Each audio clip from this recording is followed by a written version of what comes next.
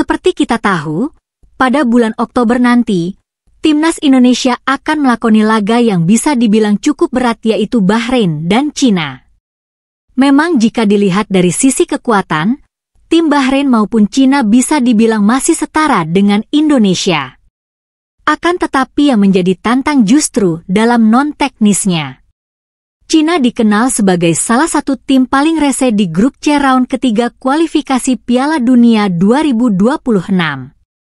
Bahkan mereka ingin mengerjai Indonesia dengan memainkan laga di Qingdao Stadium, yang jaraknya cukup jauh dari kota Beijing.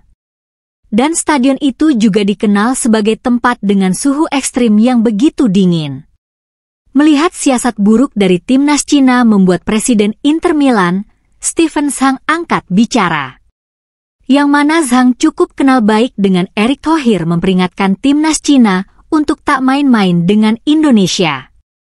Alasannya jelas, karena timnas Indonesia punya ketua PSSI yang cerdas dan killer. Timnas Cina memang seharusnya memperbaiki niat mereka untuk mengerjai Indonesia. Ini bukan karena urusan Erick Thohir dekat dengan FIFA atau apa pun, melainkan masalah ini bisa lebih runyam bagi Cina. Karena seperti kita tahu bahwa Cina akan menaruh laga melawan Indonesia ini di Stadion Qingdao, kota Qingdao. Di mana jika Indonesia melakukan perjalanan dengan pesawat komersil akan memakan waktu yang sangat lama, yakni bisa sampai 30 jam dan perkara dari bandara ke stadion inilah yang bisa menjadi senjata Indonesia memukul balik Cina. PSSI bisa saja melaporkan ini ke AFC hingga Cina mendapat hukuman. Sebab berdasarkan regulasi AFC, jarak stadion tidak boleh jauh dari bandara internasional yang maksimalnya 200 km. Sedangkan jarak dari Beijing ke Bandara Qingdao adalah 623 km. Melihat sikap Cina yang semacam ini pada akhirnya membuat media Jepang menyebut Cina sebagai tim yang menyedihkan. Karena untuk melawan Indonesia saja, mereka sampai melakukan apa pun untuk menang. Padahal jika dilihat dari head-to-head, Cina ini seharusnya bisa lebih percaya diri bertemu Indonesia apalagi laga kandang. Dan dalam 5X pertemuan terakhir, Indonesia belum pernah menang.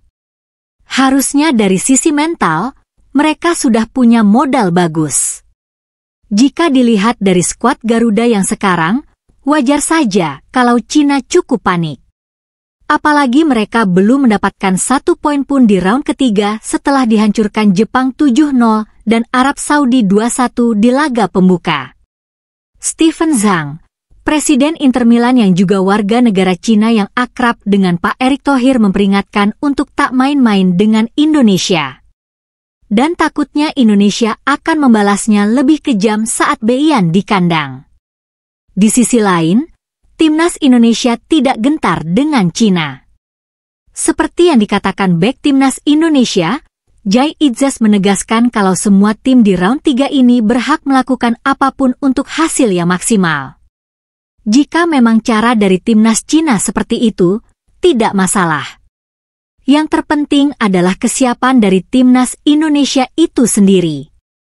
Terlepas dari apa pun, di pertandingan round ketiga melawan Bahrain dan Cina, Indonesia masih punya peluang besar meraih kemenangan. Apalagi dengan tambahan amunisi pemain Eropa, seperti Mes Hilgers dan Eliano, timnas tidak gentar sama sekali. Terima kasih sudah nonton. Update terus berita-berita dibuat Makan TV. Sampai jumpa.